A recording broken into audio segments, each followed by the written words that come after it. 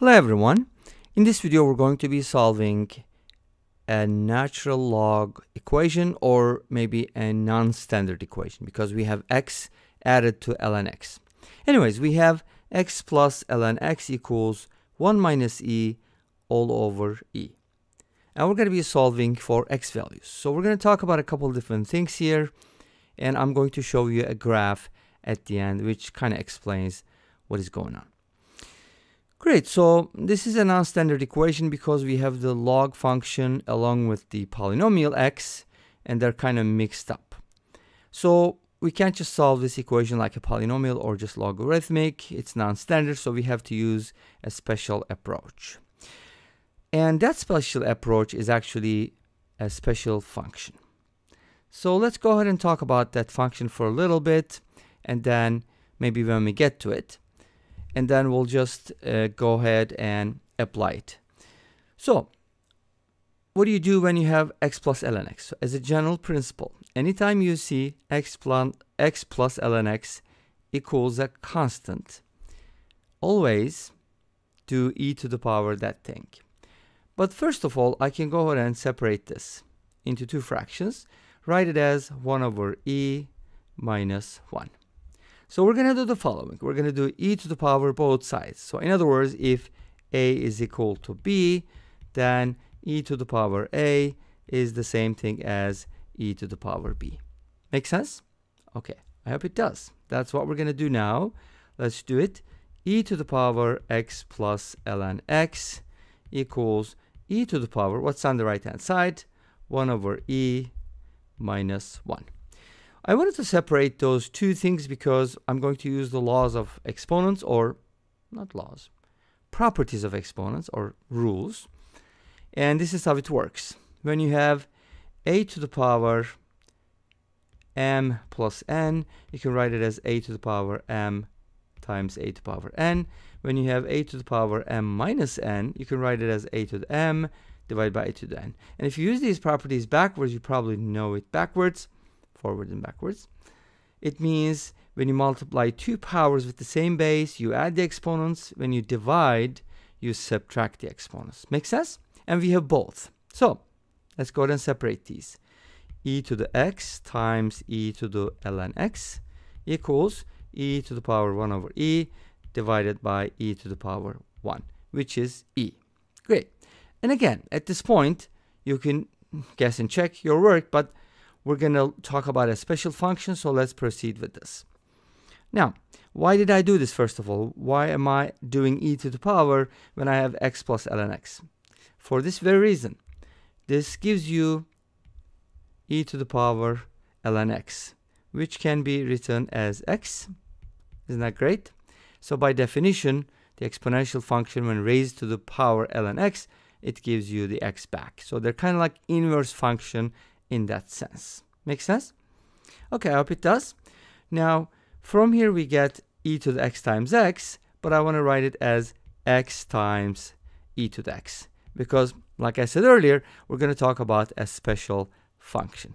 Okay, great. What about the right-hand side? Well, the right-hand side is e to the power 1 over e divided by e, but I can also write it as 1 over e multiplied by e to the power 1 over e.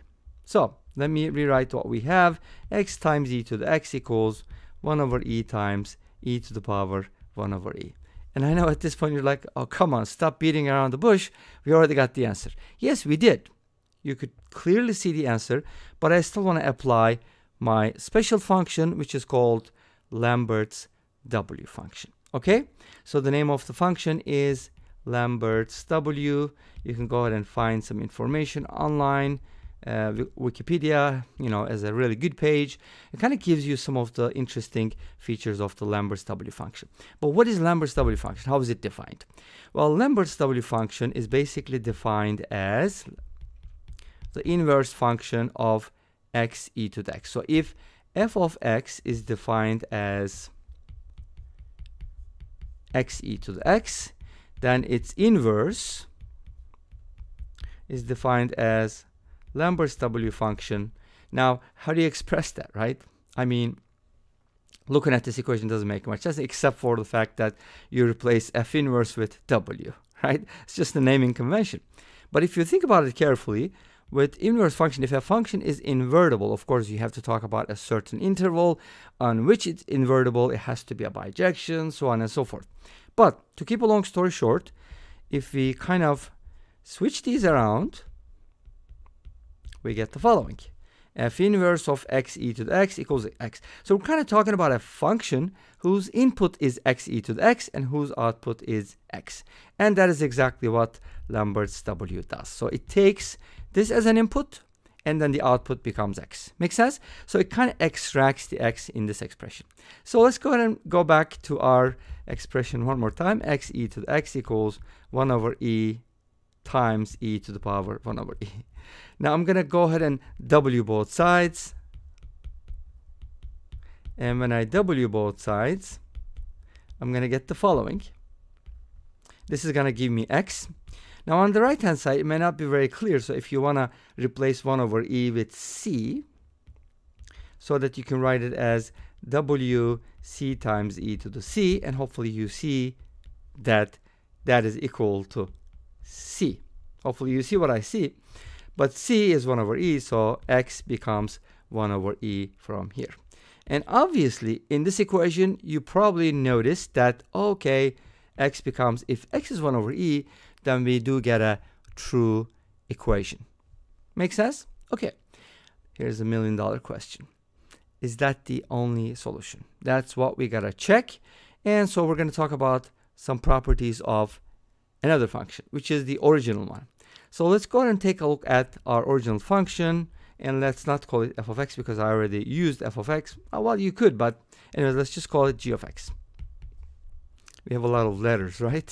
And when you're done with the uh, letters in the English alphabet, you can use Greek, you can use other alphabets, and then you can just use subscripts, mm, and there's going to be, you know, millions and millions of variables. I don't think you're going to need that many. But anyways, so what kind of function are we looking at? We said that, okay, if this is equal to 1 minus e over e, we ended up with x equals 1 over e. Let me also show you here why that works.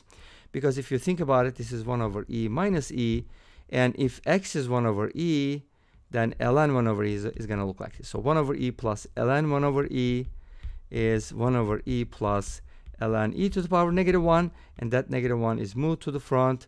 And we get 1 over e minus ln e, which is 1. So 1 over e minus 1.